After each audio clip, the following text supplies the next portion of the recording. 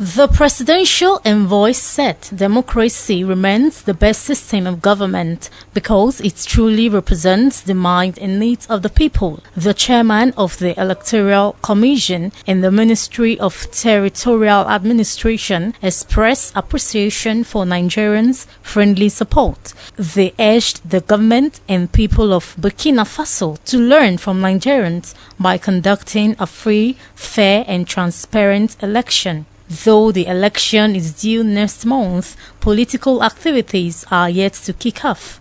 On behalf of President Muhammadu Buhari and the entire people and government of Nigeria, to make this presentation to the government and people of Burkina Faso in support of your electoral process, but also to say to you that our relations that have endured over these years will grow in strength and will be expanded and deepened.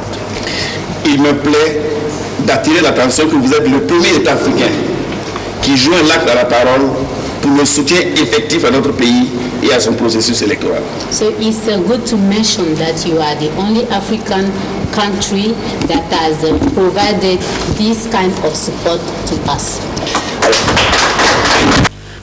Gone through the elections and we have seen the power of votes.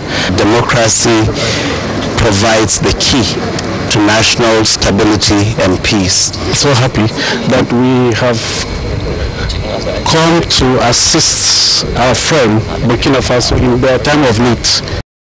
The Minister of Territorial Administration of Burkina Faso admitted that Nigeria is the only African country that has made a huge donation of 20 Hilux vans to help in the election coming up October this year. Adesuwa Lato reporting.